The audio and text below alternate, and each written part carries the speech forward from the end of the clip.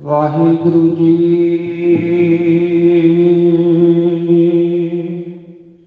Satnam. Shri Waheguru Sahib JIO.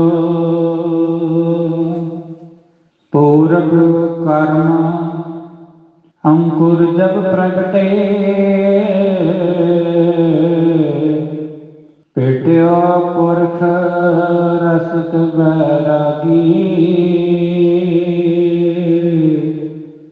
ਮਿਟਤ ਅੰਧੇਰ ਮਿਲਤ ਹਰ ਨਾਨਕ। ਜਨਮ ਜਨਮ ਕੀ ਸੋਈ ਜਾਗੀ। ਜਿਨਾ ਨ ਬਿਸਰੈ ਨਾਮ ਸੇਕ ਨੇਹਿਆ ਭੇਦ ਨ ਜਾਣੋ ਸਾਈਂ ਜਿਹਿਆ।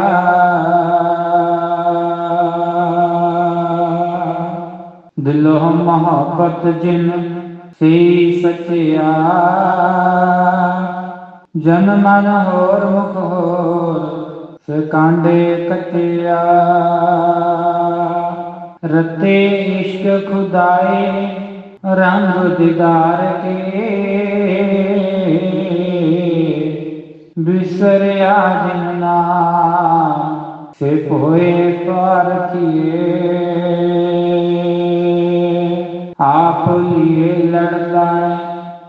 ਦਰ ਦਰ ਵੇਸ਼ ਸੇ। ਤਿਨ ਤਨ ਜਣੇ ਦੀ ਮਾਓ, ਆਏ ਸਫਲ ਸੇ। ਪਰਵਤ ਗਾਇਆ ਪਾਰ ਅਗੰਮ ਵੇਅੰਤ ਤੂੰ। ਜਿਨੀ ਪਛਾਤਾ ਸੱਚ ਚੁਮਾ ਪੈਰ ਨੂੰ ਤੇਰੀ ਪਨਹ ਖੁਦਾਏ ਤੂੰ ਬਖਸ਼ੰਦਗੀ ਸੇਖ ਫਰੀਦਾ ਕੈ, ਦੀਜੈ ਬੰਦਗੀ। ਤਨ ਤਨ ਤਨ ਸੰਤ ਮਹਾਰਾਜ, ਕਰਮ ਸਿੰਘ ਜੀ ਹੋਤੀ ਮਰਦਾਨ ਵਾਲਿਆਂ ਦੀ ਪਿਆਰੀ ਤੇ ਮਿੱਠੀ ਯਾਦ ਨੂੰ ਮੁੱਖ ਰੱਖਦਿਆਂ ਕਈ ਦਿਨ ਤੋਂ ਪਛਮੀ ਪ੍ਰਕਾਸ਼ ਅਰਥਾਤ ਹੋਤੀ ਮਰਦਾਨ ਦਾ ਨੂਰ ਪਵਿੱਤਰ ਪਾਵਨ ਜੀਵਨ ਗ੍ਰੰਥ ਦੀ ਕਥਾ ਵਿਚਾਰ ਧੰਨ ਧੰਨ ਧੰਨ। ਸਾਹਿਬ ਸ੍ਰੀ ਗੁਰੂ ਗ੍ਰੰਥ ਸਾਹਿਬ ਮਹਾਰਾਜ ਜੀ ਦੀ ਪਵਿੱਤਰ ਪਾਵਨ ਹਜ਼ੂਰੀ ਦੇ ਵਿੱਚ ਹੋ ਰਹੀ ਹੈ। ਆਓ ਆਪਾਂ ਸਾਰੇ ਫਤਿਹ ਦੀ ਸਾਂਝ ਬੁਲਾਈਏ।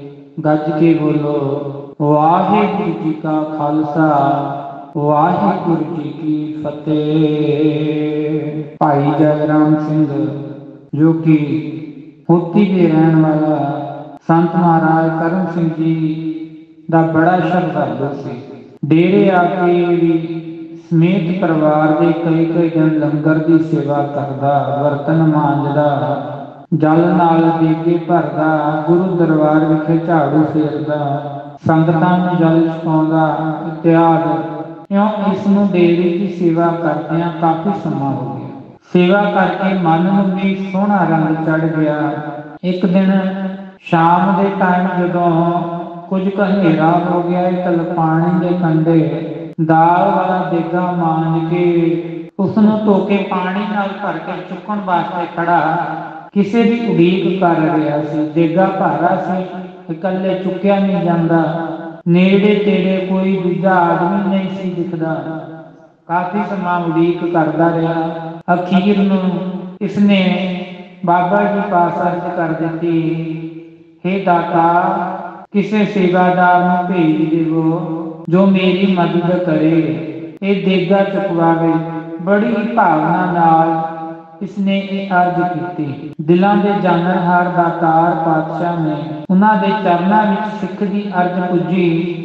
ਅਜੇ ਇਹ ਅਰਦਾਸ ਕਰ ਹੀ ਰਿਹਾ ਸੀ ਕਿ ਇਸਨੇ ਕੀ ਤਪਿਆ ਇੱਕ ਕਾਲੀ ਕੰਬਲੀ ਵਾਲਾ ਝੁੱਬ ਮਾਰੀ ਹੋਈ ਕੋਈ ਬਜ਼ੁਰਗ ਸਾਹਮਣੇ ਆ ਰਿਹਾ ਹੈ। ਹਨੇਰਾ ਕਾਫੀ ਹੋ ਚੁੱਕਿਆ।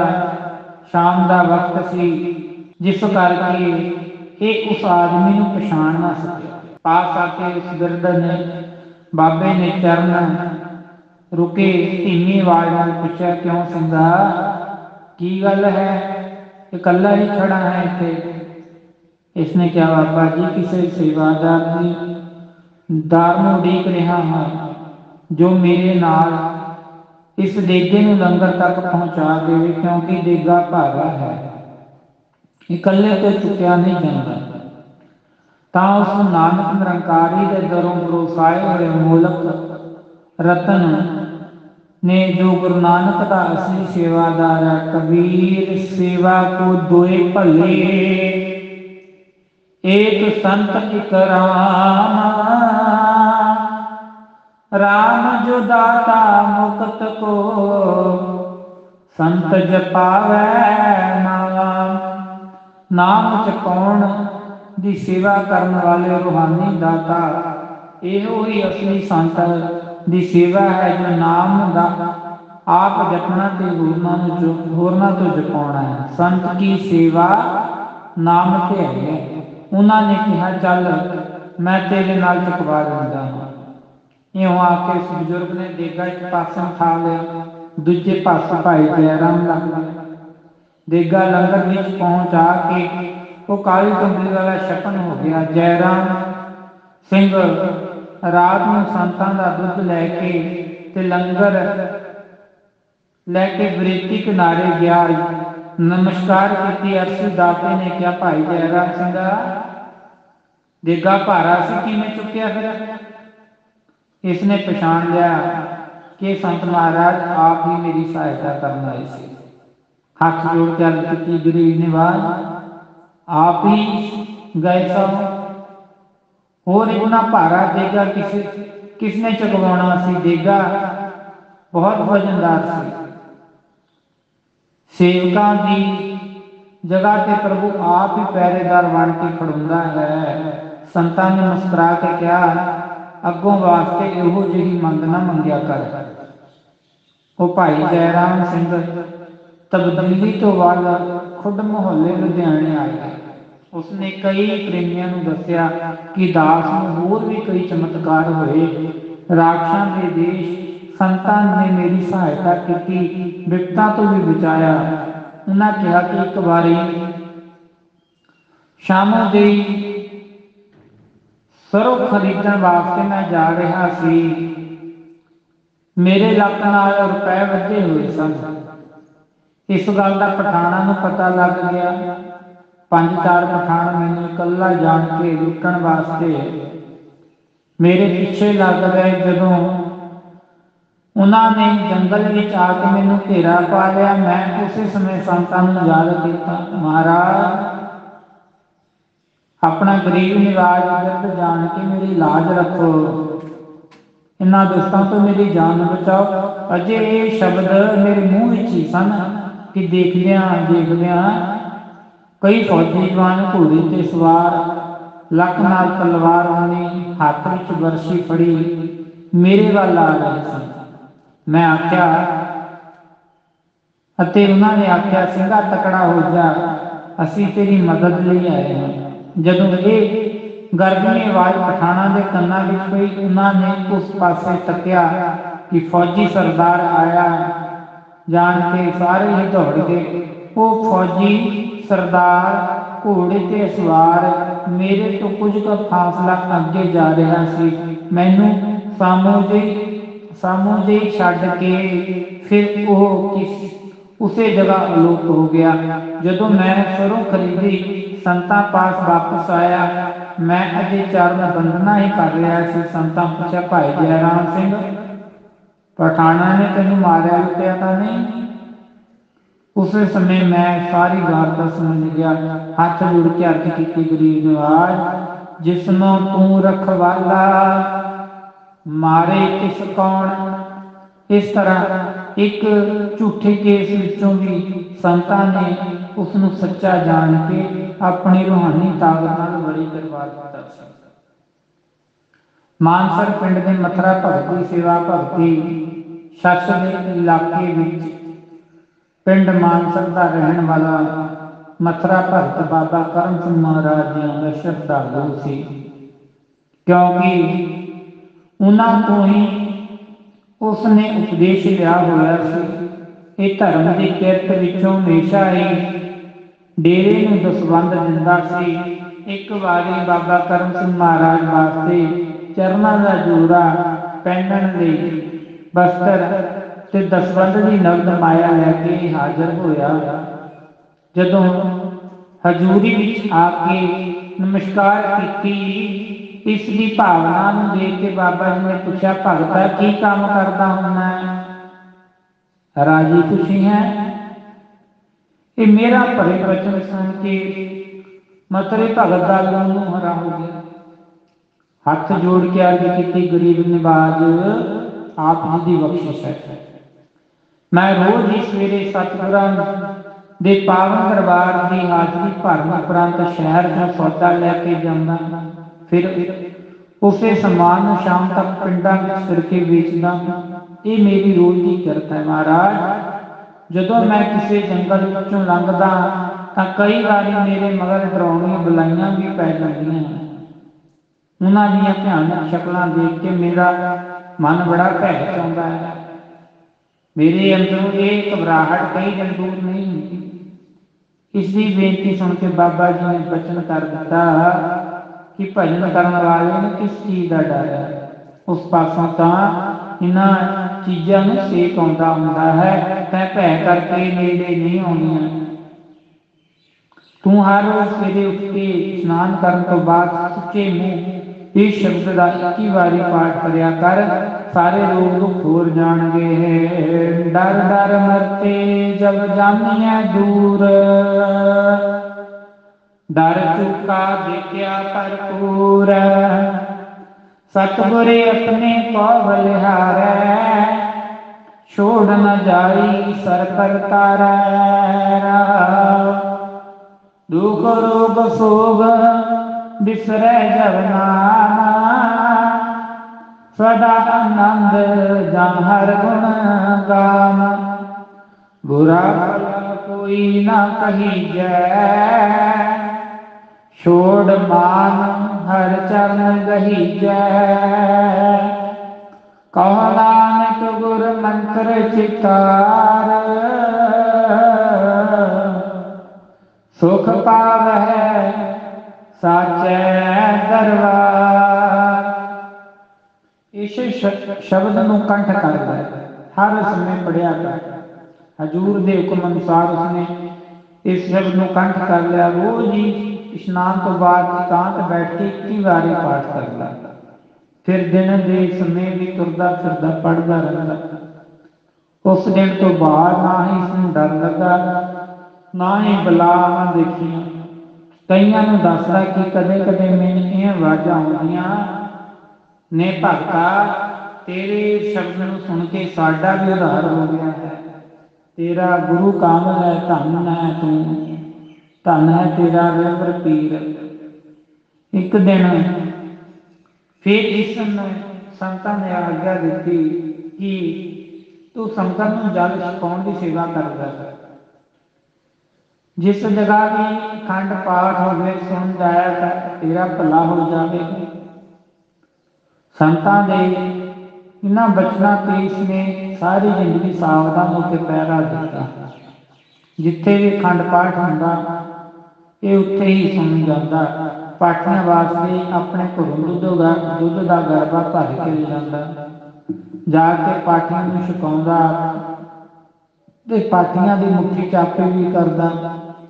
ਸਾਰੀ ਰਾਤ ਪਾਠ ਤੇ ਜਾ ਕੇ ਪਹਿਰਾ ਦਿੰਦਾ, ਗੁਰਬਾਣੀ ਸੁਣਦਾ। ਦਿਨੇ ਸਵੀਲ ਲਾ ਕੇ ਸਭ ਨੂੰ ਠੰਡਾ ਜਲ ਛਕਾਉਂਦਾ ਇਸਨੇ ਹਰ ਗਰਮੇ ਵਿੱਚ ਕੈਮਲਪੁਰ ਤੋਂ 5 ਮੀਲ ਤੇ ਭਰ ਕੇ ਜਲ ਲਿਜਾਣਾ ਸ਼ਬੀਲ ਲਗਾਉਣੀ। ਇਸ ਜਗ੍ਹਾ ਪਾਣੀ ਦੀ ਬੜੀ ਕਿੱਲਤ ਸੀ। ਨੇੜੇ ਤੇੜੇ ਹੋਰ ਕੋਈ ਪਾਣੀ ਹੀ ਨਹੀਂ ਸੀ। ਇਹ ਸੇਵਾ ਇਸਨੇ ਬਿਨਾਂ ਨਾਗਾ ਕਈ ਸਾਲਾਂ ਤੱਕ ਕੀਤੀ। ਇੱਕ ਵਾਰ ਹਾੜ ਦੇ ਮਹੀਨੇ ਸਖਤ ਗਰਮੀ ਦੇ ਮੌਸਮ ਵਿੱਚ ਸਿਖਰ ਸੂਰਜ ਆਇਆ ਹੋਇਆ ਸੀ। ਉਸ ਵੇਲੇ ਇੱਕ ਮੇਮ ਤੇ ਇੱਕ ਅੰਗਰੇਜ਼ ਜੋ ਡਿਪਟੀ ਕਮਿਸ਼ਨਰ ਧੁੱਪ ਦੇ ਵਿਆਪਕ ਕੀਤੇ ਪਾਣੀ ਦੀ ਤਲਾਸ਼ ਕਰਦਿਆਂ ਇਸ ਪਾਸੇ ਵੱਲ ਆ ਉਹਨਾਂ ਨੇ ਇਸ ਤੋਂ ਜਲ ਮੰਗਿਆ, ਇਸ ਨੇ ਕੱਚ ਦੇ ਗਲਾਸ ਵਿੱਚ ਮਿਸ਼ਰੀ ਘੁਲ ਕੇ ਕੋਰੇ ਘੜੇ ਦਾ ਜਲ ਠੰਡਾ ਜਲ ਪਾ ਕੇ ਸ਼ਰਬਤ ਬਣਾਇਆ, ਗਿਲਾਸ ਭਰ ਕੇ ਦੋਹਾਂ ਨੂੰ ਪਿਲਾਇਆ। ਨਾਲ ਥੋੜੇ ਥੋੜੇ ਭੁੱਜੇ ਹੋਏ। ਲੂਣ ਵਾਲੇ ਚਨੇ ਵੀ ਦਿੱਤੇ। ਜੋ ਭੁਨਾ ਕੇ ਆਪਣੇ ਪਾਸ ਰੱਖਿਆ ਕਰਦਾ ਸੀ ਅਤੇ ਹਰ ਇੱਕ ਮੁਸਾਫਰ ਨੂੰ ਇੱਕ ਇੱਕ ਮੁੱਠੀ ਦਿੰਦਾ। ਸਾਹਬ ਤੇ ਮੇਮ ਦੋਵੇਂ ਪਿਆਸੇ ਸਨ। ਤਿੰਨ ਤਿੰਨ ਗਲਾਸ ਸ਼ਰਬਤ ਦੀ ਪੀ ਗਏ ਬੜੇ ਖੁਸ਼ ਹੋ ਗਏ। ਸਾਹਿਬ ਨੇ ਪ੍ਰਸੰਨ ਹੋ ਕੇ ਇਸ ਦਾ ਨਾਮ ਪਿੰਡ ਪੁੱਛ ਕੇ ਨੋਟ ਕਰ ਲਿਆ। ਫਿਰ ਇਸ ਸੇਵਾ ਬਦਲੇ ਇਸ ਨੂੰ ਸਰਕਾਰ ਵੱਲੋਂ ਦੋ ਮਰਬੇ ਇਸ ਦੇ ਨਾਂ ਲਗਵਾਏ, ਜੋ ਜ਼ਿਲ੍ਹਾ ਮਿੰਟ ਗੁਮਰੀ ਵਿੱਚ ਇਸ ਦੇ ਨਾਮ ਲੱਗੇ ਸਨ। ਬਹੁਤ ਸਾਰਾ ਸਮਾਂ ਉਹਨਾਂ ਦੀ ਇਸ ਨੇ ਆਮਦਨੀ ਵੀ ਖਾਧੀ, ਪਰ ਪਾਕਿਸਤਾਨ ਬਣਨ ਤੋਂ ਪਹਿਲਾਂ ਹੀ ਜਦ ਇਹ ਭਗਤ ਜੀ ਗੁਜ਼ਰ ਗਏ, ਤਾਂ ਫਿਰ ਇਸ ਦੇ ਪੁੱਤਰਾਂ ਨੇ ਉਹ ਦੋਵੇਂ ਮਰੱਬੇ ਵੇਚ ਕੇ ਆਪਸ ਵਿੱਚ ਮਾਇਆ ਵੰਡ ਲਈ ਤਬਦੀਲੀ ਤੋਂ ਬਾਅਦ ਹੁਣ ਇਸ ਭਗਤ ਦਾ ਪਰਿਵਾਰ ਖੁਦ ਮੁਹੱਲੇ ਲੁਧਿਆਣੇ ਰਹਿੰਦਾ ਹੈ। ਦਖਨੇਰ ਤੇ ਹੋਰ ਨਗਰਾਂ ਵਾਲੇ ਪ੍ਰੇਮੀ ਸੱਜਣ। ਇੱਕ ਵਾਰੀ ਦਖਨੇਰ ਦਾ ਜੋਤਸ਼ੀ ਜਸੀਆਂ ਦੇ ਭਾਈ ਲਾਲਾ ਤੇ ਉਸ ਦਾ ਪੁੱਤਰ ਮੁਕਾਮ ਪਿੰਡ ਦੇ ਭਾਈ ਜੈਰਾਮ, ਫਕੀਰ ਚੰਦ, ਕਾਲਾਮਲ, ਅਖੋੜੀ ਪਿੰਡ ਦੇ ਭਾਈ ਰਾਮ ਸਿੰਘ ਜੀ ਗ੍ਰੰਥੀ, ਇਹ ਸਾਰੇ ਹੀ ਇਕੱਠੇ ਹੋ ਕੇ ਹੋਤੀ ਸਥਾਨ ਸੰਤਾਂ ਦੇ ਪਾਸ ਦਰਸ਼ਨਾਂ ਨੂੰ ਆਏ। ਸਾਧਨਾ ਨੇ ਭਰੇ ਦੀਵਾਨ ਵਿੱਚ ਸੰਤਾਂ ਦੇ ਦਰਸ਼ਨ ਕੀਤੇ। ਆਪੋ ਆਪਣੀ ਭੇਟਾ ਰੱਖ ਕੇ ਚਰਨਾਂ ਤੇ ਮੱਥਾ ਟੇਕਿਆ, ਪਾਸ ਬੈਠ ਕੇ ਅਰਜ਼ ਕੀਤੀ, ਗਰੀਬ ਨਿਵਾਜ, ਸਾਨੂੰ ਪਛਾਣ ਲਿਆ ਜੇ ਅੰਤਰਜਾਮੀ ਦਾਤੇ ਨੇ ਮੁਸਕਰਾ ਕੇ ਉੱਤਰ ਦਿੱਤਾ, ਇਹ ਤਾਂ ਦਖਨੇਰ ਨਗਰ ਦੇ ਜੋਤਸ਼ੀ ਹਨ। ਇਹ ਜਸ਼ਨੀਆਂ ਦਾ ਲਾਲ ਚੰਦ ਹੈ। ਇਹ ਪ੍ਰੇਮੀ ਤਿੰਨ ਹੀ ਭਾਈ ਕਾਲਾ ਮਲ, ਫਕੀਰ ਚੰਦ ਜੈਰਾਮ ਮਲ, ਮੁਕਾਮ ਪਿੰਡ ਦੇ ਆ। ਪਿੰਡ ਕਾਲੀਆ ਤੋਂ ਛੁੱਟੀਆਂ ਕੱਟ ਕੇ ਵਾਪਸ ਆਉਂਦਿਆਂ ਅਸੀਂ ਇਹਨਾਂ ਦੇ ਘਰ ਦੋ ਦਿਨ ਠਹਿਰੇ ਸਾਂ। ਇਹ ਅਖੋੜੀ ਪਿੰਡ ਦੇ ਭਾਈ ਰਾਮ ਸਿੰਘ ਜੀ ਸਨ। ਸੰਤਾਂ ਨੇ ਕਿਹਾ ਕਿ ਉਸ ਸਮੇਂ ਤੁਸੀਂ ਸਾਡੀ ਸੇਵਾ ਬਹੁਤ ਕੀਤੀ। ਹੁਣ ਸ੍ਰੀ ਗੁਰੂ ਨਾਨਕ ਦੇਵ ਜੀ ਨੇ ਪ੍ਰਸੰਨ ਹੋ ਕੇ ਸਾਨੂੰ ਆਪਣੇ ਖਜ਼ਾਨੇ ਦੀ ਚਾਬੀ ਸੌਂਪ ਦਿੱਤੀ ਹੈ, ਤੁਹਾਡਾ ਜੋ ਵੀ ਚਾਹੇ ਉਹ ਮਿਲੇਗਾ। ਹਜੂਰ ਦੇ ਇਹ ਬਚਨ ਸੁਣ ਕੇ ਦਖਨੇਰ ਦੇ ਜੋਤਸ਼ੀ ਨੇ ਅਰਜ਼ ਕੀਤੀ ਗਰੀਬ ਨਿਵਾਜ ਦਾਸ ਨੇ ਆਪ ਜੀ ਨੂੰ ਦਖਨੇਰ ਆਖਿਆ ਸੀ ਕਿ ਜਦੋਂ ਆਪ ਜੀ ਪ੍ਰਗਟ ਹੋਵੋਗੇ, ਉਸ ਸਮੇਂ ਮੈਂ ਤੁਹਾਡੇ ਪਾਸੋਂ ਹਜ਼ੂਰੀ ਵਿੱਚ ਆ ਕੇ ਮੰਗਾਂਗਾ। ਸੋ ਉਸ ਵਚਨ ਨੂੰ ਯਾਦ ਕਰਕੇ ਆਪ ਸਾਡੇ ਤੇ ਮਿਹਰ ਕਰੋ ਨਾਮ ਦਾਨ ਤੇ ਮਾਇਆ ਦੇ ਬਖਸ਼ੇ ਬਖਸ਼ ਉਸ ਦੀ ਗੱਲ ਸੁਣ ਕੇ ਸੰਤ ਜੀ ਮਹਾਰਾਜ ਬੜੇ ਹੱਸੇ, ਕਿਉਂਕਿ ਜਿਵੇਂ ਹਰਦੁਆਰ ਤੋਂ ਵਾਪਸ ਆਉਂਦੇ ਆ ਤੀਸਰੇ ਪਾਤਸ਼ਾਹ ਸ੍ਰੀ ਗੁਰੂ ਅਮਰਦਾਸ ਜੀ ਮਹਾਰਾਜ ਦੇ ਪਾਵਨ ਚਰਨਾਂ 'ਚ ਪਦਮ ਚਿੰਨ ਦੇ ਕੇ ਮੜੇ ਪਿੰਡ ਦੇ ਦੁਰਗੇ ਬ੍ਰਾਹਮਣ ਨੇ ਵੀ ਇਹੋ ਬਚਨ ਕੀਤੇ ਸਨ ਕਿ ਮਹਾਰਾਜ, ਜਦੋਂ ਆਪ ਪ੍ਰਗਟ ਹੋਵੋਗੇ, ਮੈਂ ਆਪਣੀ ਮਰਜ਼ੀ ਦੀ ਮੰਗ ਮੰਗਾਂਗਾ ਫਿਰ ਜਦੋਂ ਗੁਰੂ ਨਾਨਕ ਮਹਾਰਾਜ ਦੀ ਗੱਦੀ ਦੇ ਮਾਲਕ ਬਣ ਕੇ ਸੰਗਤਾਂ ਸਮੇਤ ਕੀਰਤਨ ਨੂੰ ਪਵਿੱਤਰ ਕਰਦਿਆਂ ਜਾਂਦਿਆਂ ਪਵਿੱਤਰ ਕਰਨ ਜਾਂਦਿਆਂ ਇੱਥੇ ਦੁਪਹਿਰ ਬਤੀਤ ਕੀਤਾ। ਕਰਨ, ਦੁਪਹਿਰ ਬਤੀਤ ਕਰਨ ਵਾਸਤੇ ਰੁਕੇ, ਤਾਂ ਆਪ ਹੀ ਹਜੂਰ ਨੇ ਦੁਰਗੇ ਬ੍ਰਾਹਮਣ ਨੂੰ ਪਾਸ ਲਾ ਕੇ ਆਖਿਆ, ਪੰਡਤਾ, ਹੁਣ ਤੁਹਾਡੇ ਮੰਗਣ ਦਾ ਸਮਾਂ ਆ ਗਿਆ ਹੈ। ਇੱਕ ਚੀਜ਼ ਮੰਗ ਲਓ, ਇਸ ਲੋਕ ਇਸ ਲੋਕ ਦਾ ਸੁਖ ਜਾਂ ਪਰਲੋਕ ਦਾ? ਹਜੂਰ ਦੇ ਇਸ ਵਚਨ ਨੂੰ ਸੁਣ ਕੇ ਦੁਰਗੇ ਦਾ ਸੁਖੀ ਪੈ ਗਿਆ। ਸਤਿਗੁਰਾਂ ਨੇ ਕਿਹਾ, ਕੀ ਗੱਲ ਹੈ? ਹੁਣ ਮੰਗਦੇ ਨਹੀਂ। ਤਾਂ ਇਸਨੇ ਬੜੀ ਭਾਵਨਾ ਨਾਲ ਨਾਲ ਹੱਥ ਜੋੜ ਕੇ ਅਰਜ਼ ਕੀਤੀ। ਨਾਮ ਦੇ ਤਨ ਦੇ ਨਾ ਜਨ ਕੋ ਤਨ ਵਿਹੀਨ ਜਨ ਜਗ ਨਾ ਸੁਹਾਏ। ਜੇ ਤਨ ਦੇ ਨਾਮ ਨਹਿ ਦੇਵੈ ਨਾਮ ਬਿਨਾ ਜਨ ਜਮ ਪਰ ਜਾਏ। ਤੁਮ ਪਹਿ ਨਹੀਂ ਬਨ ਆਵੈ। ਜੋ ਪਾਵੈ ਤਿਉ ਬਨਤ ਬਨਾਏ। ਗੁਰੂ ਅਮਰਦਾਸ ਕੇ ਜੋ ਕੇ ਨੰਦਨ, ਦੋਨੋਂ ਨਿਰਮਲ ਪੰਥ ਚਲਾਏ। ਉਸ ਨੇ ਪ੍ਰਸੰਨ ਹੋ ਕੇ ਸਤਿਗੁਰਾਂ ਨੇ ਉਸ ਨੂੰ ਦੋਵੇਂ ਹੀ ਲੋਕਾਂ ਦੇ ਸੁੱਖ ਬਖਸ਼ ਦਿੱਤੇ। ਇਸ ਤਰ੍ਹਾਂ ਤੀਸਰੇ ਗੁਰੂ ਨਾਨਕ ਦੇ ਪੂਰਨ ਸਿੱਖ ਸੰਤਾਂ ਨੇ ਵੀ ਇਸ ਦੀ ਬੇਨਤੀ ਸੁਣ ਕੇ ਬਹੁਤ ਸਾਰੀ ਮਾਇਆ ਤੇ ਕੀਮਤੀ ਸਰੂਪਾਉ ਦਿੱਤਾ। ਫਿਰ ਆਖਿਆ, ਨਾਮ ਤੇ ਚਿੱਤ ਰੱਖੀ, ਗੁਰੂ ਘਰ ਤੇ ਸ਼ਰਧਾ ਰੱਖੀ, ਨਾਮ ਵੀ ਚਿੱਤ ਆਵੇਗਾ, ਪਰਲੋਕ ਵਿੱਚ ਸੁਖ ਪਾਵੇਂਗਾ। ਇਸੇ ਤਰ੍ਹਾਂ ਹੋਰਨਾਂ ਨੂੰ ਵੀ ਨਾਮ ਦਾਨ ਦੇ ਕੇ ਮਨੋ ਕਾਮਨਾਵਾਂ ਪੂਰੀਆਂ ਕਰਨ ਦੀ ਕਿਰਪਾ ਕੀਤੀ। ਫਿਰ ਗ੍ਰੰਥੀ ਜੈਰਾਮ ਸਿੰਘ ਨੂੰ ਵਰ ਦਿੱਤਾ ਕਿ ਤੁਹਾਡੇ ਘਰ ਕਈ ਪੁਸਤਾਂ ਤੱਕ ਸਿੱਖੀ ਬਣੀ ਰਹੇਗੀ। ਗੁਰੂ ਘਰ ਦੀ ਸੇਵਾ ਕਰਦੇ ਰਹੋਗੇ, ਜਿਸ ਕਰਕੇ ਤੁਹਾਡਾ ਕਲਿਆਣ ਵੀ ਹੋਵੇਗਾ। ਮੁਕਾਮ ਪਿੰਡ ਦੇ ਪ੍ਰੇਮੀ ਆਪਣੇ ਪਿੰਡੋਂ ਕੁਹਾੜੀਆਂ, ਵਰਸ਼ੀਆਂ, ਦਾਤੀਆਂ ਗੁਰੂ ਕੇ ਲੰਗਰ ਵਿੱਚ ਸਬਜ਼ੀ ਕੱਟਣ ਵਾਸਤੇ ਚਾਕੂ ਕਰਨਾ ਬਣਾ ਕੇ ਲਿਆਉਂਦੇ ਸਨ। ਦਸਵੀਂ ਦੇ ਜੋੜ ਮੇਲੇ ਤੇ ਸੰਤਾਂ ਦੀ ਭੇਟਾ ਕਰਦੇ ਇਹਨਾਂ ਦੀ ਸੇਵਾ ਤੇ ਪ੍ਰਸੰਨ ਹੋ ਕੇ ਸੰਤਾਂ ਨੇ ਬਚਨ ਕੀਤਾ ਕਿ ਇਹ ਚੀਜ਼ਾਂ ਹਮੇਸ਼ਾ ਹੀ ਤੁਹਾਡੇ ਪਿੰਡ ਵਿੱਚ ਬਣਦੀਆਂ ਰਹਿਣਗੀਆਂ। ਤੁਸੀਂ ਦਸਵੀਂ ਦੇ ਹਰੇਕ ਜੋੜ ਮੇਲੇ ਤੇ ਲਿਆ ਕੇ ਭੇਟਾ ਕਰਿਆ ਕਰੋ। ਇਹ ਪ੍ਰੇਮੀ ਬਾਬਾ ਜੀ ਦੇ ਬਚਨ ਸੁਣ ਕੇ ਬੜੇ ਪ੍ਰਸੰਨ ਹੋਏ। ਦਸਵੀਂ ਦੇ ਹਰੇਕ ਜੋੜ ਮੇਲੇ ਤੇ ਚੀਜ਼ਾਂ ਭੇਟਾ ਕਰਕੇ ਸੰਤਾਂ ਦੀਆਂ ਖੁਸ਼ੀਆਂ ਲੈਂਦੇ ਸਨ। ਹੋਤੀ ਡੇਰੇ ਦੇ ਸਾਧੂਆਂ ਪਾਸ ਵੀ ਇਹ ਗੁਪਤ ਹਥਿਆਰ ਇੱਕ ਇੱਕ ਵਰਸ਼ੀ ਨਿਸ਼ਾਨੀ ਵਜੋਂ ਹਮੇਸ਼ਾ ਹੀ ਰਹਿੰਦੀ ਸੀ। ਪਠਾਨ ਡਾਕੂਆਂ ਦਾ ਸੁਧਾਰ ਕਰਨਾ। ਸ਼੍ਰੀ ਹਜੂਰ ਬਾਬਾ ਕਰਮ ਸਿੰਘ ਮਹਾਰਾਜ ਦਾ ਤੇਜ ਪ੍ਰਤਾਪ ਤੱਕ ਕੇ ਬਹੁਤ ਸਾਰੇ ਇਲਾਕੇ ਦੇ ਮੁਸਲਮਾਨ ਪਠਾਨ ਵੀ ਸ਼ਰਧਾਲੂ ਬਣ ਗਏ, ਜੋ ਬੜੀ ਭਾਵਨਾ ਨਾਲ ਡੇਰੇ ਦੀ ਜ਼ਿਆਰਤ ਕਰਨ ਆਉਂਦੇ, ਬਚਨ ਸੁਣਦੇ, ਪਰ ਅਜੇ ਤੱਕ ਵੀ ਬਹੁਤ ਸਾਰੇ ਮੰਦਭਾਗੀ ਪਠਾਨ ਮਹਿਮਾ ਵਡਿਆ ਵਡਿਆਈ ਹੁੰਦੀ ਦੇਖ ਕੇ, ਸੁਣ ਕੇ ਸਹਾਰ ਨਾ ਸਕੇ।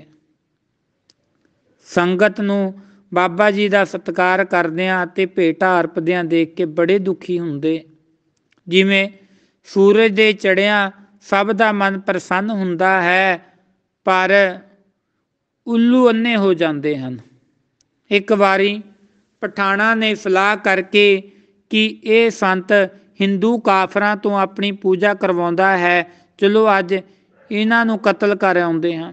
ਰਾਤੀ ਇਕੱਠੇ ਹੋ ਕੇ ਸੰਤਾਂ ਨੂੰ ਮਾਰਨ ਵਾਸਤੇ ਆ ਗਏ। ਜਿਸ ਜਗ੍ਹਾ ਹਜੂਰ ਰੋਜ਼ ਹੀ ਬਰੇਤੀ ਤੇ ਬੈਠ ਕੇ ਭਜਨ ਕਰਦੇ ਸਨ ਇਹਨਾਂ ਨੇ ਉਸ ਜਗ੍ਹਾ ਆ ਕੇ ਦੇਖਿਆ ਕਿ ਸੰਤਾਂ ਦੇ ਸਰੀਰ ਦੇ ਅੰਗ ਅੱਡ-ਅੱਡ ਹੋਏ ਪਏ ਹਨ। ਲੱਤ ਕਿਤੇ ਪਈ ਹੈ, ਬਾਹਾਂ ਕਿਤੇ ਪਈਆਂ ਨੇ, ਸ਼ੀਸ਼ ਵੀ, ਧੜ ਵੀ ਕਿ ਧੜ ਤੋਂ ਦੂਰ ਪਿਆ ਹੈ। ਇਹ ਨਜ਼ਾਰਾ ਦੇਖ ਕੇ ਮਾਰਨ ਆਏ ਪਠਾਨ ਡਰ, ਡਰਦੇ ਹੋਏ ਭੱਜ ਗਏ ਕਿ ਇਹਨਾਂ ਨੂੰ ਤਾਂ ਕੋਈ ਪਹਿਲਾਂ ਹੀ ਮਾਰ ਗਿਆ ਹੈ। ਕਿਤੇ ਖੂਨ ਸਾਡੇ ਸਿਰ ਨਾ ਪੈ ਜਾਵੇ, ਸਾਡੇ ਗੱਲ ਨਾ ਲੱਗ ਜਾਵੇ। ਜਦੋਂ ਇਹ ਪਿੱਛੇ ਮੁੜੇ ਤਾਂ ਬਾਬਾ ਜੀ ਨੇ ਆਪਣੀ ਰੋਹਾਨੀ ਸ਼ਕਤੀ ਨਾਲ ਆਵਾਜ਼ ਦਿੱਤੀ ਕਿ ਇੱਧਰ ਆ ਜਾਓ। ਜਦੋਂ ਇਹ ਆਵਾਜ਼ ਸੁਣੀ ਤਾਂ ਸਾਰੇ ਹੈਰਾਨ ਹੋ ਗਏ ਕਿ ਸਾਨੂੰ ਸ਼ਾਇਦ ਕਿਤੇ ਭੁਲੇਖਾ ਹੀ ਨਾ ਪੈ ਗਿਆ ਹੋਵੇ ਕਿ ਮਰੇ ਪਏ ਹਨ। ਇਹ ਤਾਂ ਜਿਉਂਦੇ ਹਨ। ਜਦੋਂ ਇਹ ਫਿਰ ਬਾਬਾ ਜੀ ਵੱਲ ਦੇਖਣ ਲਈ ਮੁੜੇ ਤਾਂ ਅਰਸੀ ਦਾਤੇ ਨੇ ਇਹਨਾਂ ਨੂੰ ਸਮਾਧੀ ਵਿੱਚ ਬੈਠਿਆਂ ਦਰਸ਼ਨ ਦਿੱਤੇ। ਫਿਰ ਇਹ ਮਾਰਨ ਵਾਸਤੇ ਆਏ। ਤਾਂ ਬਾਬਾ ਜੀ ਦਾ ਸਰੂਪ ਇਹਨਾਂ ਤੋਂ ਦੂਰ ਹੋ ਗਿਆ। ਜਦੋਂ ਇਹ ਹੋਰ ਅੱਗੇ ਵਧੇ, ਸੰਤ ਜੀ ਮਹਾਰਾਜ ਹੋਰ ਦੂਰ ਹੋ ਗਏ। ਇਉਂ ਇਹਨਾਂ ਨੂੰ ਫਿਰਦਿਆਂ ਫਿਰਦਿਆਂ ਸਾਰੀ ਰਾਤ ਲੰਘ ਗਈ। ਜਦੋਂ ਸਵੇਰ ਦਾ ਵਕਤ ਹੋਇਆ, ਇਹਨਾਂ ਨੇ ਕੀ ਦੱਸਿਆ? ਬਾਬਾ ਜੀ ਦੇ ਸਾਰੇ ਅੰਗ ਅੱਡ ਪਏ। ਦਿਨ ਚੜਨ ਦਾ ਸਮਾਂ ਜਾਣ ਕੇ ਸਾਰੇ ਡਰਦੇ ਮਾਰੇ ਵਾਪਸ ਮੁੜ ਆਏ। ਇਹ ਸਭ ਰੁਸਤਮ ਅਤੇ ਹੋਰ ਨਾਲ ਦੇ ਪਿੰਡਾਂ ਦੇ ਹੀ ਰਹਿਣ ਵਾਲੇ ਸਨ। ਸਵੇਰੇ, ਸਵੇਰ ਸਾਰ ਸਾਰੇ ਡੇਰੇ ਵੱਲ ਗਏ। ਦੇਖੀਏ ਉੱਥੇ ਕੀ ਰੌਲਾ ਪੈਂਦਾ ਹੋਵੇਗਾ। ਇਹਨਾਂ ਦੀ ਮੌਤ ਕਿਸ ਦੇ ਨਾਮ ਲੱਗਦੀ ਹੈ? ਜਦੋਂ ਇਹ ਡੇਰੇ ਦੀ ਤਰਫ ਗਏ ਤਾਂ ਕੀ ਦੇਖਿਆ? ਆਵਹਿ ਨਾ ਜਾਵਹਿ ਨਾ ਕਬ ਮਰਤੇ। ਪਾਰ ਬ੍ਰਹਮ ਸੰਘਾਰੀ ਰੇ। ਦੇ ਮਹਾਵਾਕ ਅਨੁਸਾਰ, ਮਰਨ ਹਾਰ ਇਹੋ ਜੀਰਾ ਨਹੀਂ। ਦੇ ਉਪਦੇਸ਼ ਕਰਤਾ ਅੱਲਾ ਦੇ ਪਿਆਰੇ ਜੋਤੀ ਸਰੂਪ ਨੂੰ। ਸੰਗਤਾਂ ਪਾਲਕੀ ਚ ਬਿਠਾ ਕੇ ਸ਼ਬਦ ਪੜਦੀਆਂ ਡੇਰੇ ਵੱਲ ਲਿਜਾ ਰਹੀਆਂ। ਇਹ ਦੇਖ ਕੇ ਪਠਾਨ ਬੜੇ ਹੈਰਾਨ ਹੋ ਗਏ ਕਿ ਇਹਨਾਂ ਨੂੰ ਤਾਂ ਰਾਤੀ ਕੋਈ ਮਾਰ ਗਿਆ ਸੀ। ਹੁਣ ਪਾਲਕੀ ਦੇ ਵਿੱਚ ਅਸਵਾਰ ਹੋ ਕੇ ਜਾ ਰਹੇ ਹਨ। ਅਖੀਰ ਨੂੰ ਉਹਨਾਂ ਨੇ ਨਿਸ਼ਚਾ ਕੀਤਾ ਕਿ ਇਹ ਪੂਰਨ ਫਕੀਰ ਹਨ। ਪਾਸ ਜਾ ਕੇ ਪਾਲਕੀ ਰੋਕੀ, ਸਲਾਮਾਂ ਕੀਤੀਆਂ, ਪਾਲਕੀ ਦੇ ਨਾਲ ਹੀ ਤੁਰ ਪਏ। ਡੇਰੇ ਆ ਕੇ ਸੰਤਾਂ ਨੇ ਸਭਨਾਂ ਨੂੰ ਮਠਿਆਈ ਦਾ ਪ੍ਰਸ਼ਾਦ ਦਿਵਾਇਆ, ਪਾਵਨ ਰਸਨਾ ਤੋਂ ਬਚਨ ਕੀਤਾ। ਕਿ ਸੰਗਤ ਦੀ, ਸੰਗਤ ਜੀ, ਇਹਨਾਂ ਨੂੰ ਗਰਮ ਗਰਮ ਦੁੱਧ ਤੇ ਮਠਿਆਈ ਛਕਾਓ। ਇਹ ਵਿਚਾਰੇ ਸਾਰੀ ਰਾਤ ਪੈਂਡਾ ਮਾਰ ਕੇ ਥੱਕੇ ਟੁੱਟੇ ਆਏ ਹਨ। ਇਸ ਪ੍ਰਕਾਰ ਔਗਣ ਹਾਰਿਆਂ ਤੇ ਮਿਹਰਾਂ ਕਰਨ ਵਾਲੇ ਦਾਤੇ ਦਾ ਵਰਤਾਰਾ ਤੱਕ ਕੇ ਉਹਨਾਂ ਪਠਾਣਾ ਦੀਆਂ ਭੁੱਬਾਂ ਨਿਕਲ ਗਈਆਂ। ਗੁਣ ਕੀਏ, ਗੁਣ ਸਭ ਕੋ ਕਰੈ। ਕਿਰਪਾ ਨਿਧਾਨ ਅਵਗੁਣ ਕੀਏ, ਗੁਣ ਤੋ ਹੀ ਬਨ ਆਇਓ ਹੈ। ਰੋ ਰੋ ਕੇ ਸਾਰੀ ਵਾਰਤਾ ਦੱਸੀ। हे ਅੱਲਾ ਪਾਕ, ਅਸੀਂ ਤਾਂ ਰਾਤ ਤੁਹਾਨੂੰ ਮਾਰਨ ਵਾਸਤੇ ਆਏ ਸਾਂ। ਪਰ ਸਰੀਰ ਦੇ ਅੰਗ ਅੱਡ ਅੱਡ ਵਿਖਰੇ ਪਏ ਦੇ ਕੇ ਡਰ ਗਏ ਕਿ ਇਹਨਾਂ ਨੂੰ ਕੋਈ ਪਹਿਲਾਂ ਹੀ ਮਾਰ ਗਿਆ। ਹੁਣ ਅਸੀਂ ਤਮਾਸ਼ਾ ਦੇਖਣ ਆਏ ਸੀ ਕਿ ਡੇਰੇ ਵਿੱਚ ਰੌਲਾ ਪੈਂਦਾ ਹੋਵੇਗਾ। ਬਾਬਾ ਕਰਨ ਸਿੰਘ ਜੀ ਮਹਾਰਾਜ ਨੂੰ ਪਠਾਣਾ ਨੇ ਮਾਰ ਦਿੱਤਾ। ਪਰ ਜਦੋਂ ਅਸੀਂ ਇੱਥੇ ਆ ਕੇ ਦੇਖਿਆ, ਤੁਸੀਂ ਪਾਲਕ ਵਿੱਚ ਜਾ ਰਹੇ ਹੋ। ਹੁਣ ਸਾਨੂੰ ਨਿਸ਼ਚਾ ਹੋ ਗਿਆ, ਤੁਸੀਂ ਆਪ ਖੁਦਾ ਖੁਦਾਈ ਬੰਦੇ ਹੋ, ਖੁਦਾ ਹੋ। ਅਸੀਂ ਔਗਣ ਆ ਰਹਾ ਆਪ ਸਾਡੀਆਂ ਭੁੱਲਾਂ ਨੂੰ ਬਖਸ਼ ਦਿਓ। ਸੰਤਾਂ ਨੇ ਹੁਕਮ ਕੀਤਾ ਕਿ ਸਾਰਿਆਂ ਦੇ ਗੁਨਾਹਾਂ ਨੂੰ ਬਖਸ਼ਣ ਵਾਲਾ ਤਾਂ ਖੁਦਾ ਹੈ ਆਪ। ਅੱਗੇ ਵਾਸਤੇ ਤੁਸੀਂ ਨੇਕੀ ਵਾਲੇ ਕੰਮ ਕਰੋ, ਨਿਵਾਜਾਂ ਪੜਿਆ ਕਰੋ, ਰੋਜੇ ਰੱਖੋ, ਖੁਦਾ ਤੁਹਾਡਾ ਭਲਾ ਕਰੇ। ਇਹਨਾਂ ਕੰਮਾਂ ਵਿੱਚ ਕੀ ਪਿਆ? ਕਿਉਂਕਿ ਹਰ ਇੱਕ ਨੂੰ ਰੱਖਣ ਵਾਲਾ ਤੇ ਮਾਰਨ ਵਾਲਾ ਖੁਦਾ ਆਪ ਹੀ ਹੈ। ਹਰ ਵਿਨ ਕੋਈ ਮਾਰ ਜਿਵਾਲ ਨਾ ਸਕੈ। ਮਨ ਹੋਏ ਨਚਿੰਦ, ਨਿਸਲ ਹੋਏ ਰਹੀ ਹੈ। ਅਤੇ ਦੂਜੀ ਗੱਲ ਇਹ ਹੈ ਕਿ ਸਰੀਰ ਵਿੱਚ, ਮਰਨ ਵਾਲੇ ਵਿੱਚ ਸੀਸਾਂ ਪਾਉਂਦੇ। ਸ਼ਸਤਰ, ਸ਼ਾਸਤਰ ਵੀ ਇਹੋ ਹੀ ਕਥਨ ਕਰਦਾ ਹੈ ਪੁੱਛੇ ਗੁਰੂ ਤੇ ਸੁਭ ਸਿੱਖ ਤਦਪ ਗਿਆਨਵਾਨ ਹੋਵੇ ਨਿਜ ਜਦਪ ਜਿਵੇਂ ਬੂਟੇ ਨੂੰ ਫਲ ਲੱਗਿਆ ਜਾਣ ਕੇ ਮਾਲੀ ਦੀ ਘਾਲਣਾ ਥਾ ਪੈਂਦੀ ਹੈ ਅਤੇ ਉਹ ਖੁਸ਼ੀ ਵਿੱਚ ਨਹੀਂ ਸਮਾਉਂਦਾ ਵਿਦਿਆਰਥੀ ਨੂੰ ਮੈਰਿਟ ਲਿਸਟ ਵਿੱਚ ਆਇਆ ਦੇਖ ਕੇ ਅਧਿਆਪਕ ਦੇ ਮਨ ਵਿੱਚ ਖੁਸ਼ੀ ਪ੍ਰਫੁੱਲਿਤ ਹੁੰਦੀ ਹੈ ਇਸੇ ਤਰ੍ਹਾਂ ਸੇਵਕ ਦਾ ਤੇਜ ਪ੍ਰਤਾਪ ਵਡਿਆਈ ਦੇ ਕੇ ਗੁਰੂ ਦਾ ਮਨ ਵੀ ਪ੍ਰਸੰਨ ਹੁੰਦਾ ਹੈ। ਸੰਗਤਾਂ ਵੀ ਇਹਨਾਂ ਮਹਾਪੁਰਸ਼ਾਂ ਦਾ ਬਾਬਾ ਕਰਮ ਸਿੰਘ ਜੀ ਮਹਾਰਾਜ ਦੇ ਸਮਾਨ ਹੀ ਆਦਰ ਕਰਦੀਆਂ ਤੇ ਦਰਸ਼ਨਾਂ ਨੂੰ ਆਉਂਦੀਆਂ ਸਨ।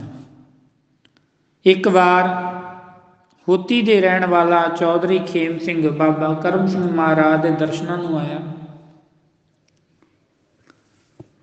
ਭਾਵਨਾ ਨਾਲ ਮੱਥਾ ਟੇਕਿਆ। ਕੁਝ ਸਮਾਂ ਪਾਸ ਬੈਠ ਕੇ ਬਚਨ ਸੁਣੇ। ਫਿਰ ਜਾਣ ਦੀ ਆਗਿਆ ਮੰਗੀ। ਜਾਣੀ ਜਾਣ ਦਾਤੇ ਨੇ ਉੱਤਰ ਦਿੱਤਾ ਕਿ, ਸੰਤ ਜੀ ਮਹਾਰਾਜ ਦੇ ਦਰਸ਼ਨ ਕਰ ਆਇਆ। ਉਸਨੇ ਬੇਨਤੀ ਕੀਤੀ, ਮਹਾਰਾਜ, ਪਹਿਲਾਂ ਉਹਨਾਂ ਦੇ ਪਾਸ ਹੀ ਨਮਸਕਾਰ ਕਰਕੇ ਆਇਆ ਹਜੂਰ ਨੇ ਫਿਰ ਕਿਹਾ, ਅੱਜ ਜਾਣ ਦੀ ਆਗਿਆ ਵੀ ਸੰਤ ਮਹਾਰਾਜ ਰਾਮ ਸਿੰਘ ਜੀ ਪਾਸੋਂ ਹੀ ਲਿਆ ਜਦੋਂ ਬਾਬਾ ਜੀ ਦਾ ਇਹ ਬਚਨ ਸੁਣ ਕੇ ਖੇਮ ਚੰਦ ਸੰਤ ਬਾਬਾ ਰਾਮ ਸਿੰਘ ਜੀ ਬ੍ਰਖਤ ਜੀਆਂ ਦੇ ਪਾਸ ਦੁਆਰਾ ਆਇਆ। ਮੱਥਾ ਟੇਕ ਕੇ ਅਰਜ਼ ਕੀਤੀ, ਮਹਾਰਾਜ, ਆਗਿਆ ਬਖਸ਼ੋ, ਮੈਂ ਘਰ ਜਾਣਾ ਚਾਹੁੰਦਾ। ਸੰਤ ਰਾਮ ਸਿੰਘ ਜੀ ਬੋਲੇ, ਭਗਤਾ, ਅੱਜ ਨਾ ਜਾ ਕੱਲ ਆਗਿਆ ਦੇ ਦਵਾਂਗੇ। ਇਸ ਨੇ ਫਿਰ ਹੱਥ ਜੋੜੇ ਤੇ ਆਖਿਆ, ਮਹਾਰਾਜ, ਬਹੁਤ ਜ਼ਰੂਰੀ ਕੰਮ ਹੈ। ਕਈ ਥਾਂ ਜਾਣਾ ਹੈ। ਆਗਿਆ ਬਖਸ਼ੋ ਕੱਲ ਫੇਰ ਆ ਜਾਵਾਂਗਾ। ਸੰਤਾਂ ਨੇ ਕਿਹਾ, ਅੱਜ ਨਾ ਜਾ। ਸਾਨੂੰ ਇਸ ਪਾਸੋਂ ਸੇਕ ਆਉਂਦਾ ਜਾਪਦਾ ਹੈ। ਪਰ ਇਸ ਨੇ ਫਿਰ ਹਟ ਕਰਕੇ ਕਿ ਮਹਾਰਾਜ, ਅਸੀਂ ਗ੍ਰਸਤੀ ਲੋਕ ਕੰਮਾਂ ਕਾਰਾਂ ਵਿੱਚ ਫਸੇ ਪਏ ਹਾਂ, ਜਿਸ ਕਰਕੇ ਹੁਣੇ ਹੀ ਜਾਣਾ ਹੈ ਅਤੇ ਜ਼ਰੂਰੀ ਕੰਮ ਹੈ। ਮਹਾਂਪੁਰਸ਼ਾਂ ਦੀਆਂ ਰਮਜ਼ਾਂ ਨੂੰ ਕੋਈ ਬੜਭਾਗੀ ਹੀ ਸਮਝਿਆ ਕਰ ਸਕਦਾ ਹੈ। ਸਾਧੂ ਰਮਜ ਦਿੰਦੇ ਹਨ, ਰਾਜ ਨਹੀਂ ਦੱਸਦੇ। ਪਰ ਇਹ ਘੜੀ ਮੁੜੀ ਬੇਨਤੀ ਕਰੀ ਜਾਂਦਾ ਕਿ ਉਹਨੂੰ ਹਟ ਕੀਤਾ, ਸੰਤਾਂ ਨੂੰ ਮੱਥਾ ਟੇਕ ਕੇ ਤੁਰ ਪਿਆ। ਜਦੋਂ ਆਪਣੇ ਘਰ ਆਇਆ ਪ੍ਰਸ਼ਾਦਾ ਛਕ ਕੇ, ਸੌਣ ਦੇ ਵਕਤ ਬਸਤਰ ਲਾਹੇ, ਆਪਣੇ ਗਲੋਂ ਕੋਟ ਉਤਾਰ ਕੇ, ਜਿਸ ਦੀਆਂ ਜੇਬਾਂ ਨੋਟਾਂ ਤੇ ਹੋਰ ਜ਼ਰੂਰੀ ਕਾਗਜ਼ਾਂ ਨਾਲ ਭਰੀਆਂ ਹੋਈਆਂ ਸਨ, ਮੰਜੇ ਤੇ ਲੰਮਾ ਪੈ ਗਿਆ। ਇਹ ਅਜੇ ਜਾਗਦਾ ਹੀ ਸੀ ਕਿ ਉਸੇ ਸਮੇਂ ਇਸ ਨੂੰ ਕੋਈ ਜ਼ਰੂਰੀ ਕੰਮ ਯਾਦ ਆ ਗਿਆ, ਜਿਸ ਕਰਕੇ ਮੰਜੇ ਤੋਂ ਉੱਠਿਆ ਬਸਤਰ ਪਾਏ ਤੇ ਚੱਲ ਪਿਆ। ਕਾਲੀ ਵਿੱਚ ਕੋਟ ਪਾਉਣ ਦਾ ਵੀ ਚੇਤਾ ਨਾ ਰਿਹਾ। ਜਿੱਥੇ ਇਸਨੇ ਜਾਣਾ ਸੀ, ਉਹ ਜਗ੍ਹਾ ਸ਼ਹਿਰ ਦੇ ਦੂਸਰੇ ਪਾਸੇ ਸੀ। ਕੰਮ ਕਰਦਿਆਂ ਦੇਰ ਵੀ ਕਾਫੀ ਲੱਗ ਗਈ। ਅੱਧੀ ਰਾਤ ਦਾ ਸਮਾਂ ਹੋ ਗਿਆ, ਜਿਸ ਕਰਕੇ ਉੱਥੇ ਠਹਿਰ ਗਿਆ, ਘਰ ਨਾ ਆਇਆ ਅਤੇ ਜਦੋਂ ਦੂਜੇ ਦਿਨ ਸਵਖਤੇ ਆਇਆ, ਕੀ ਦੇਖਦਾ ਹੈ? ਕਿ ਮੁਹੱਲੇ ਵਾਲੇ ਲੋਕਾਂ ਦਾ ਬੜਾ ਇਕੱਠ ਜੁੜਿਆ ਹੈ? ਰੌਲਾ ਤੇ ਸ਼ੋਰ ਸ਼ਰਾਬਾ ਇਸ ਦੇ ਕੰਨੀ ਪਿਆ।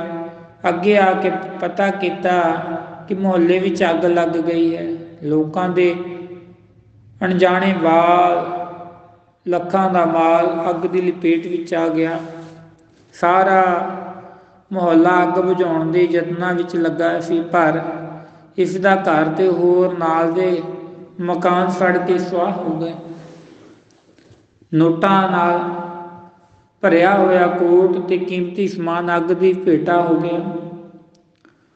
ਹੋਰ ਘਰਾਂ ਦੇ ਕੀਮਤੀ ਵਸਤਰ ਪਦਾਰਥ ਪਸਮਾ ਭੂਤ ਹੋ ਗਏ।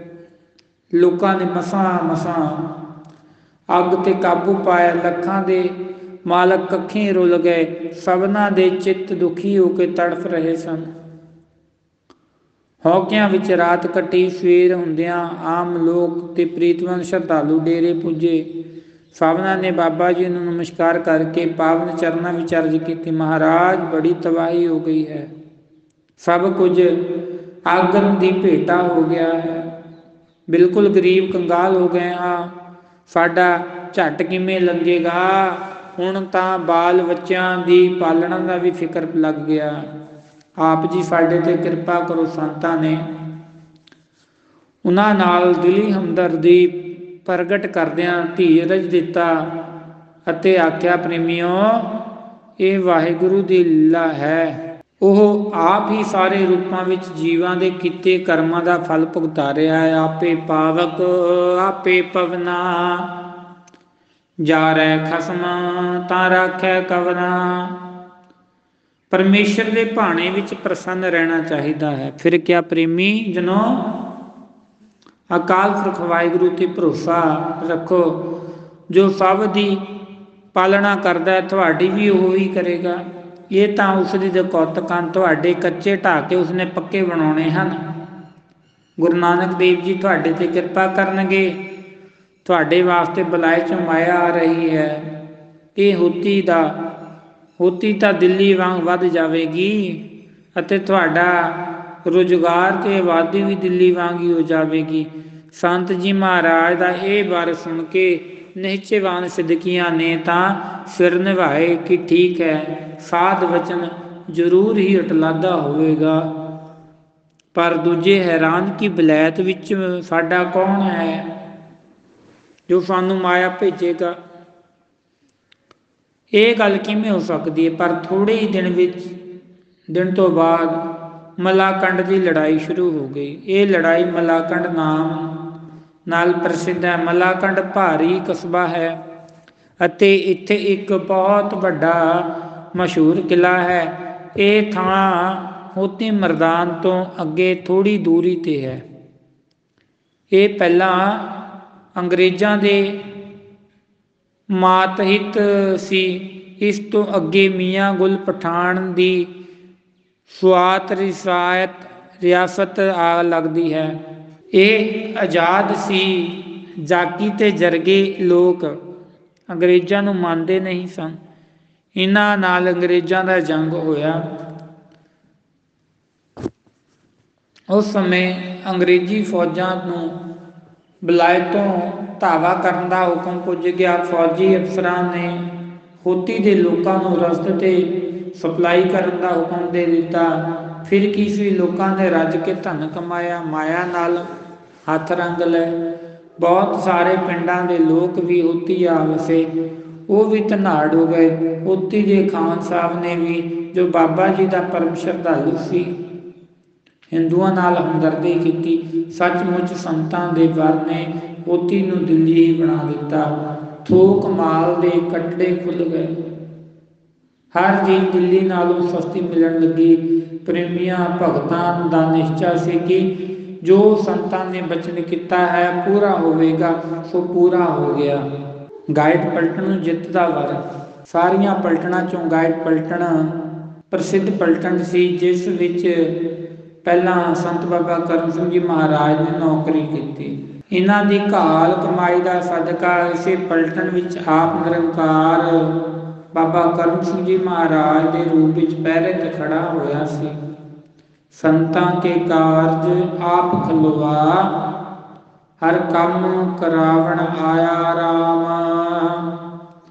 ਇਸ ਗਾਇਡ ਪਲਟਣ ਨੂੰ ਮਲਾਕੰਡ ਦੇ ਮੋਰਚੇ ਵਿੱਚ ਜਾਣ ਦਾ ਹੁਕਮ ਹੋ ਗਿਆ। ਉਸ ਨੇ ਇਸ ਪਲਟਣ ਦਾ ਜਰਨੈਲ ਜੋ ਅੰਗਰੇਜ਼ ਸੀ, ਪਲਟਣ ਦੇ ਸਿੱਖ ਸਰਦਾਰ, ਹਜੂਰ ਦੇ ਦਰਸ਼ਨ ਅਤੇ ਆਗਿਆ ਪ੍ਰਾਪਤੀ ਲਈ ਡੇਰੇ ਆਏ ਭਾਵਨਾ ਨਾਲ ਮੱਥਾ ਟੇਕਿਆ, ਸਾਰਿਆਂ ਨੇ ਅਰਜ਼ ਕੀਤੀ ਗਈ, ਨਿਵਾਜ, ਹੁਣ ਮੋਰਚੇ ਵਿੱਚ ਜਾ ਰਹੇ ਹਾਂ, ਆਪ ਨੇ ਸਾਡੀ ਲਾਜ ਰੱਖੀ ਸੰਤਾਂ ਨੇ ਸਭਨਾਂ ਨੂੰ ਲੰਗਰ ਪ੍ਰਸ਼ਾਦ ਛਕਾਇਆ, ਹੁਕਮ ਕੀਤਾ, ਜਾਓ, ਕੋਈ ਫਿਕਰ ਨਾ ਕਰੋ। ਕਲਗੀਆਂ ਵਾਲਾ ਪਾਤਸ਼ਾਹ ਤੁਹਾਡੇ ਅੰਗ ਸੰਗ ਹੈ ਫਤਿਹ ਦੇ ਡੰਕੇ ਵਜਾਉਂਦੇ ਵਾਪਸ ਆਉਂਗੇ ਸਾਧੂ ਬੋਲੇ, ਸਹਿਜ ਸੁਭਾਏ। ਸਾਧਕਾ ਬੋਲਿਆ ਵਿਰਥਾ ਨਾ ਜਾਏ। ਹਜੂਰ ਦੀ ਆਗਿਆ ਪਾ ਕੇ ਮੋਰਜੇ ਵਿੱਚ ਪੁੱਜੇ। ਦਰਿਆਓ ਪਾਰ ਦੁਸ਼ਮਣ ਦੀ ਫੌਜ ਸੀ। ਇੱਧਰ ਇਹਨਾਂ ਦੀ ਪਲਟਣ ਦੇ ਕਰਨਲ ਸਾਹਿਬ ਨੇ ਆਪਣੇ ਫੌਜੀ ਜਵਾਨਾਂ ਨੂੰ ਧਾਵੇ ਦਾ ਹੁਕਮ ਕਰ ਦਿੱਤਾ। ਸਿੰਘਾਂ ਨੇ ਦਰਿਆਓ ਪਾਰ ਜਾ ਜੈਕਾਰੇ ਬੁਲਾਏ, ਬਹਿਰੀ ਤੇ ਧਾਵਾ ਬੋਲ ਦਿੱਤਾ। ਬਹਿਰੀ ਦੀ ਸੈਨਾ ਨੇ ਥੋੜਾ ਸਮਾਂ ਡਟ ਕੇ ਮੁਕਾਬਲਾ ਕੀਤਾ, ਪਰ ਸਿੰਘਾਂ ਦੀ ਬਹਾਦਰੀ ਦੇਖ ਕੇ ਉਹਨਾਂ ਨੇ ਛੇਤੀ ਹੀ ਪੈਰ ਉਖੜ ਗਏ ਤੇ ਸਾਰੇ ਨਸ ਗਏ। ਮੈਦਾਨ ਖਾਲਸੇ ਦੇ ਹੱਥ ਵਿੱਚ ਆਇਆ।